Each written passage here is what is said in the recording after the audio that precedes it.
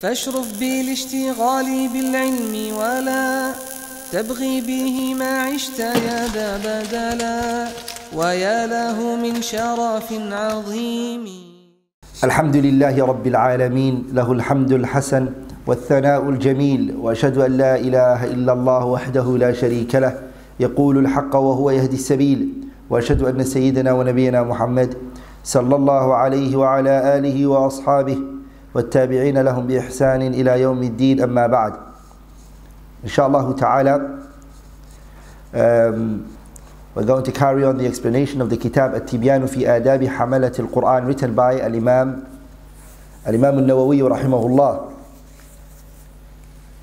We spoke about the times when the um, sujood tilawa, what's the ruling pertaining to the times when the prayer is prohibited. the times when the prayer is prohibited, what is the ruling regarding sujood tilawa? Can you do sujood tilawa at the fil awqat al manhiyu anha? Now, we spoke about that. We're now going to go into the next section. Section: It is not permissible to bow instead of prostrate, as long as one is able to prostrate. prostrate.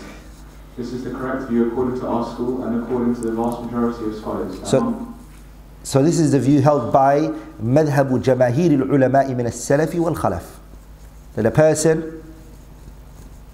uh, لا يقوم الركوع مقام السجود he doesn't stand um, the position of a ruku' in the place of a sujood tilawa when he has a choice to do so نعم Abu Hanifa, on the other hand, held the view that bowing can take the place of prostration. The majority of scholars derive their evidence from the established fact that bowing cannot take the place of the necessary prostrations during prayer. Those unable to prostrate, however, should lean forward and lower their heads, as, as is done in gesturing, and this has been dealt with above.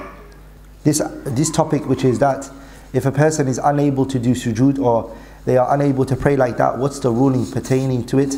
I've actually spoken about it in details. I made a series about it, which I, uh, on YouTube I called it Prayer on the Chair. So what's the ruling of praying on the chair?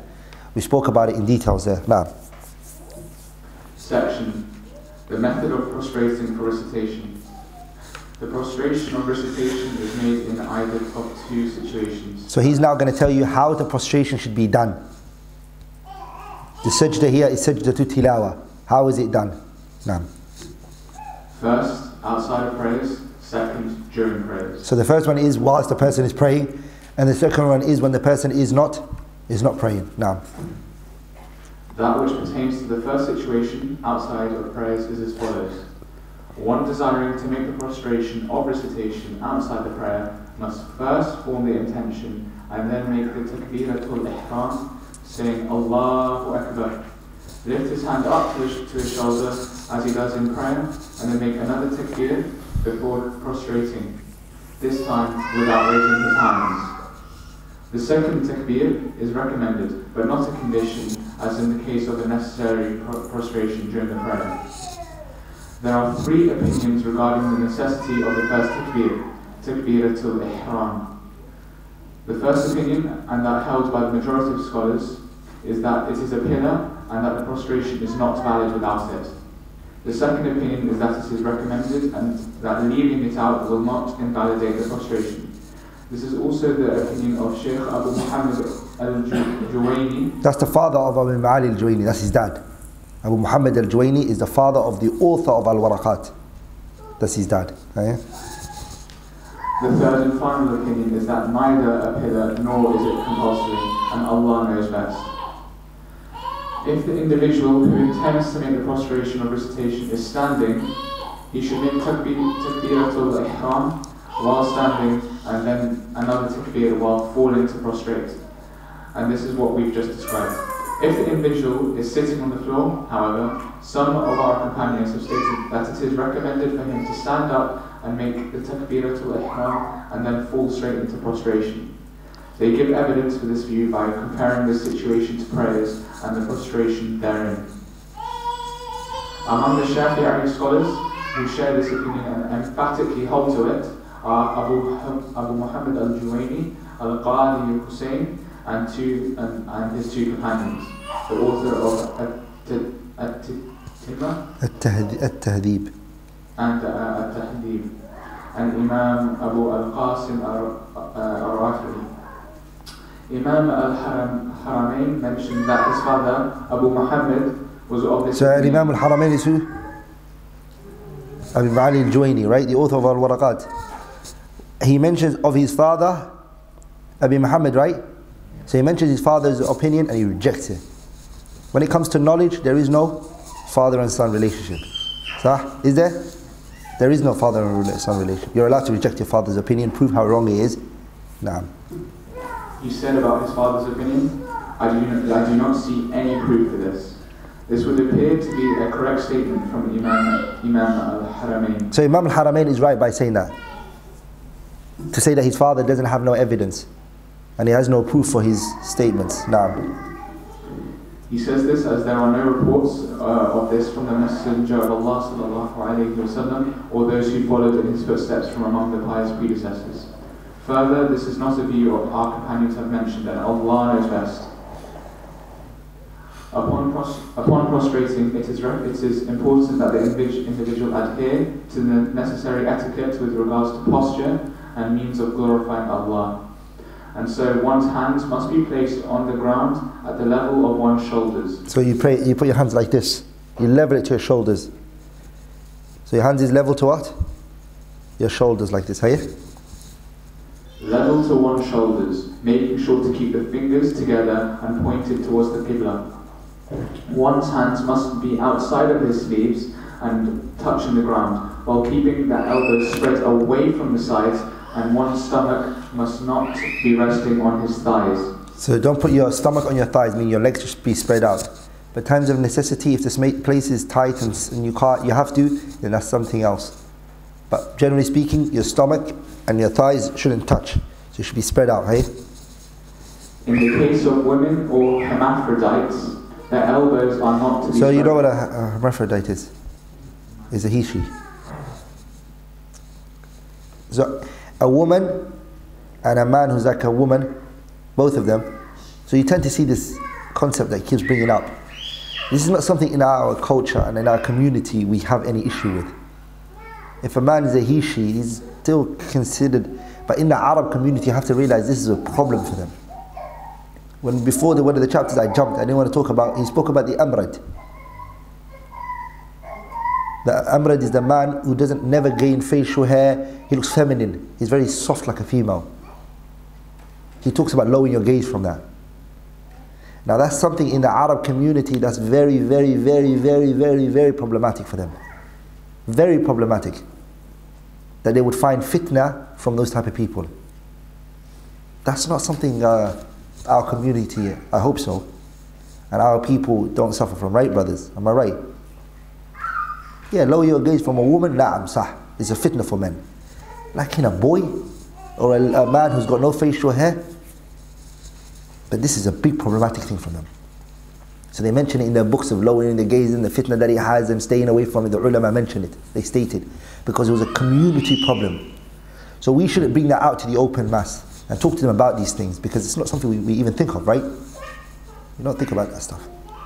So here he talks about the, the woman and the male. Within the scholars of the madahibs, they mention that the woman's prostration should be different from the male's prostration. That she shouldn't spread herself out, she shouldn't do everything like the way. But that's incorrect. The woman's like the man. Khalas. None of this shyness that they're talking about and or she has to put herself keep herself together and, and she shouldn't do that. All of that is what? Null and void. Because the Prophet ﷺ came to he was teaching who? The male and he was teaching the female. And all of them he was their teacher. And never did he ever say, I'm praying like the men and the women should pray differently. Does that make sense? And if it's shyness, then the Messenger ﷺ knew the concept of shyness and he didn't say to the woman, you have to keep yourself together, you have to bring your legs together. He didn't say any of that. لذلك if you go to uh, the uh, if you go to the uh, uh, what do you call it uh, the haram and you, you you see the elderly women, the elderly Pakistani and some, sometimes you feel, feel like they, they just become a ball. The way they are, it's just like they're all just like that. Their legs is just, they're just literally, it's like someone who is sitting who just put his head on the floor. Do you get my point? That's not a sujood. That's not a sujood in, in any way, form, or shape.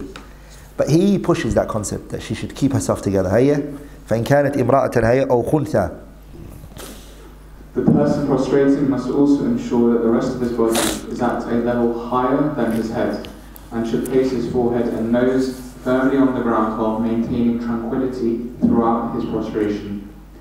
As for the means of glorification during the prostration or recitation, our companions have stated that the individual should glorify Allah in the same way he does during the normal prayer.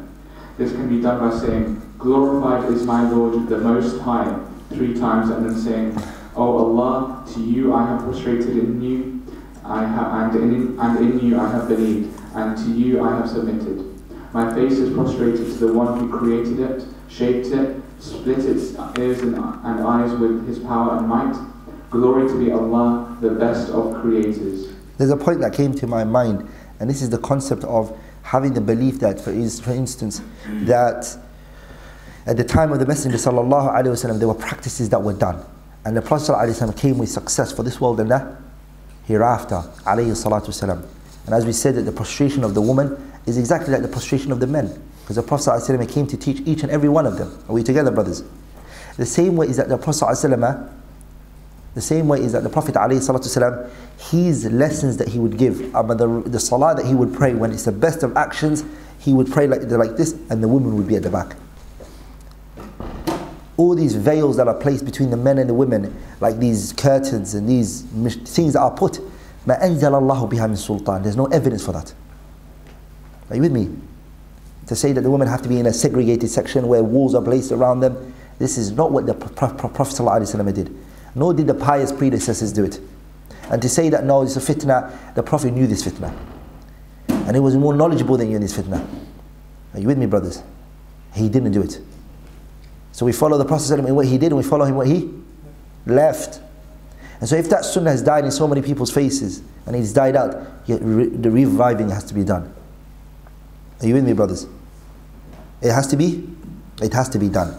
So that's the reality of the matter that the Prophet ﷺ would do prayer at the, the front and the woman would pray at the back. So the woman's sujood should be normal, but she should never pray in front of a man.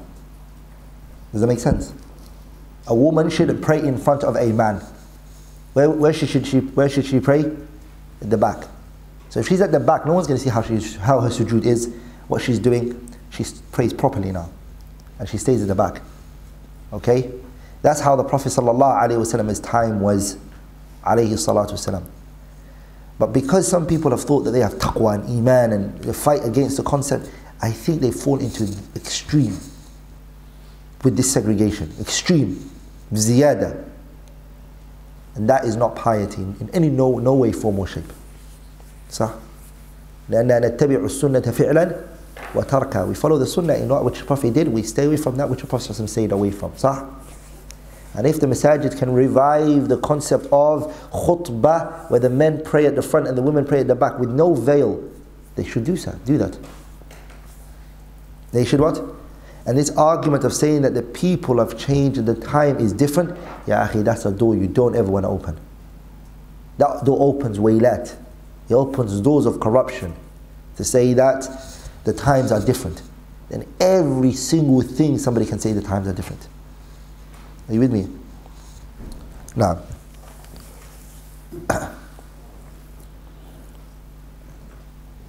Or one can also say, Glory and holiness be belong to you, O Lord of the angels and the Spirit. As mentioned, all these supplications may also be said during the normal prayers.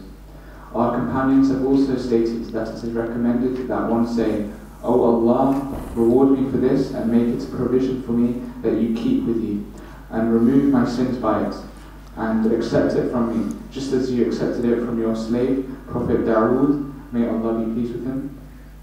May Allah, may the peace of Allah be upon him. This supplication is specific to this prostration and should therefore be adhered to. Al-Ustaz Ismail al-Darir mentioned in his book the word al-darir means what? Blind. Darir is somebody who's blind. So they used to name people blind. Like for example, Abu al-Qasim Muhammad ibn Firrah al-Shatibi rahimahullah al-Darir. He was Darir, right? He was blind. And Imam Shatibi was blind.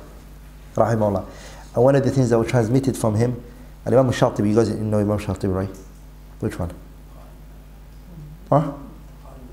Laqari, his name is called Abu al-Qasim. Some scholars call Abu Muhammad. Difference of his kunya. Abu Ishaq al-Shatibi is the one who wrote. Anyways, he was blind. And an imam who's teaching how to recite the Quran and is blind, how does it work? He has to see people's lips, right? And their teeth. And their tongue where they're placing it. And he's an imam in this field. Imam. He was blind and he can tell the person's lips the way they were moving. And their tongue. He will tell everything. No, you're putting your tongue in the wrong place. Rahimahullah ta'ala.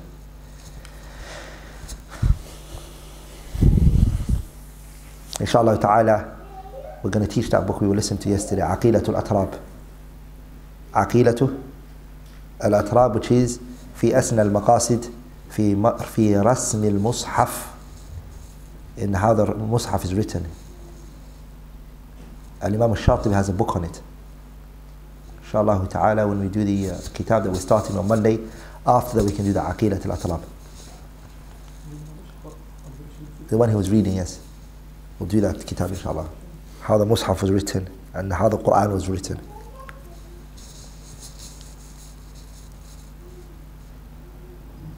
Naam.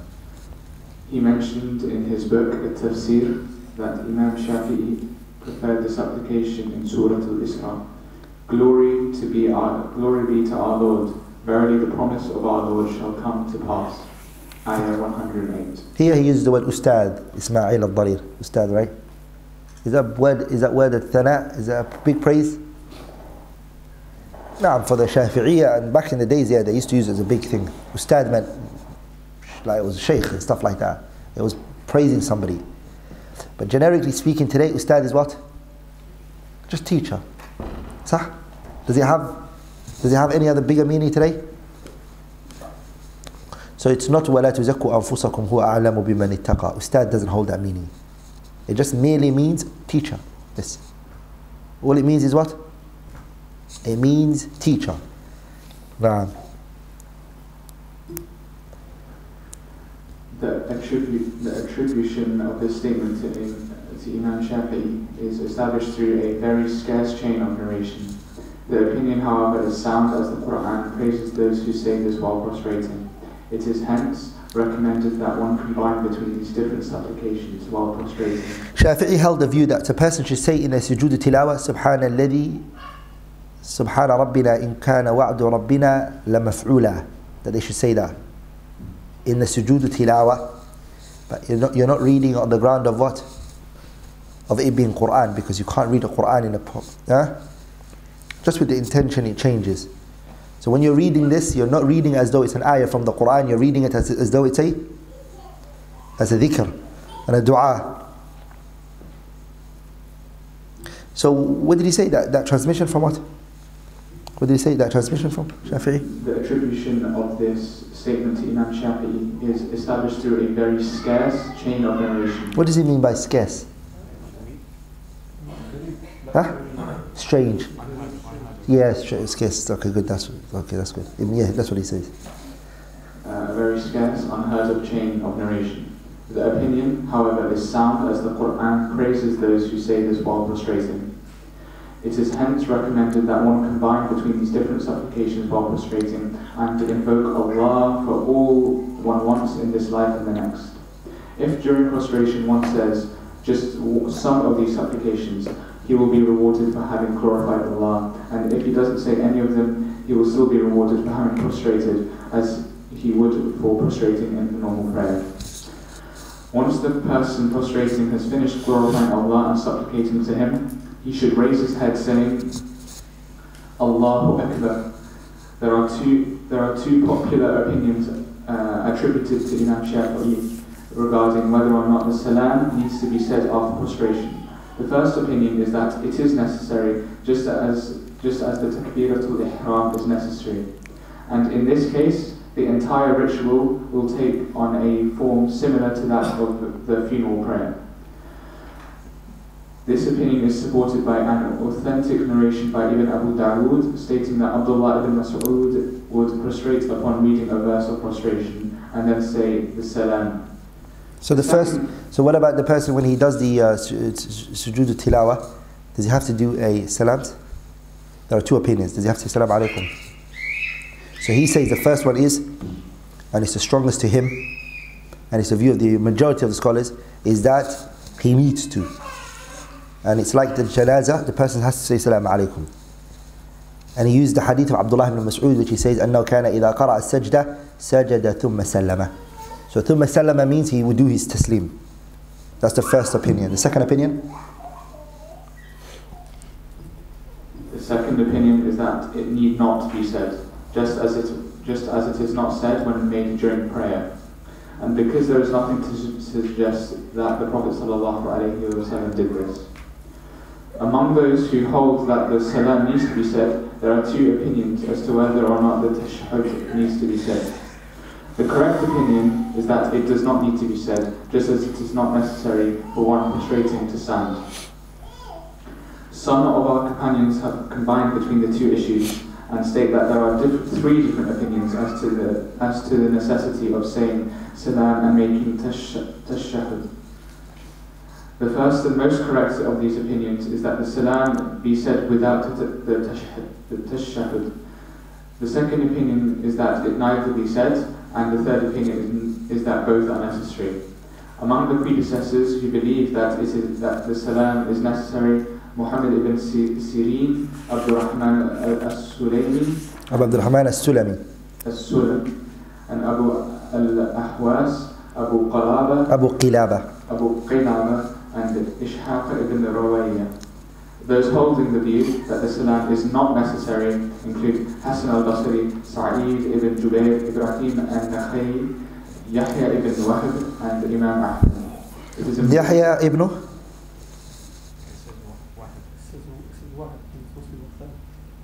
Yes, Yahya ibn Wattab, yeah. Yahya ibn Wathab and Imam Ahmad. Sometimes you can't blame the translator. He's probably using a bad Arabic copy.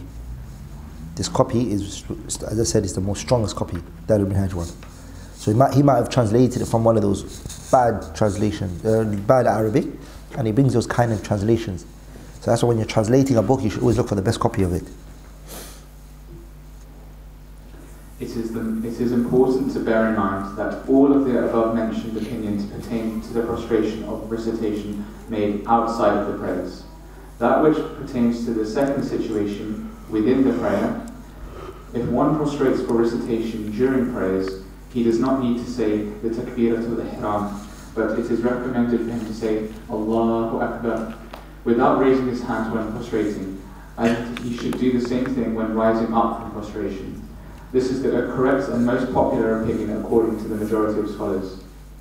Among our companions, Abu Ali ibn Abu Huraira was, was of the view that the takbir is made only when prostrating and not when rising back up. So the person just says Allahu Akbar when they go into the sujood, and when they get out of the sujood, they just leave. They don't have to say Allahu Akbar again. The first opinion, however, is the more popular of the two. As for the manner of prostrating and that which is said during the prostration, much of what we have said about the first situation, prostrating outside the prayers, applies to this situation, prostrating within the prayers. Also, if the one prostrating is the imam, he should not prolong the prostration unless he knows the, con- the congregants prefer this. He shouldn't. Remember, when you're leading a prayer, you should observe the people you're leading. You shouldn't be very evil in lengthening and. Uh, what you should do is observe the people you're leading. If you can hear a child crying, all of these are things that you need to take into consideration.